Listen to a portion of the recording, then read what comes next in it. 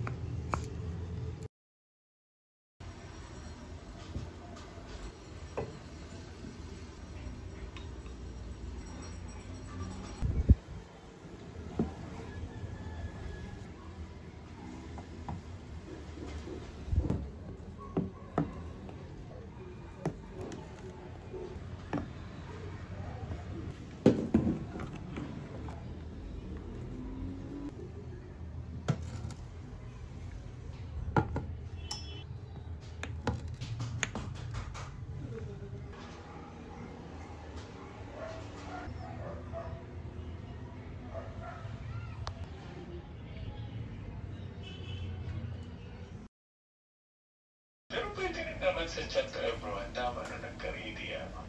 Congratulations. Sarah.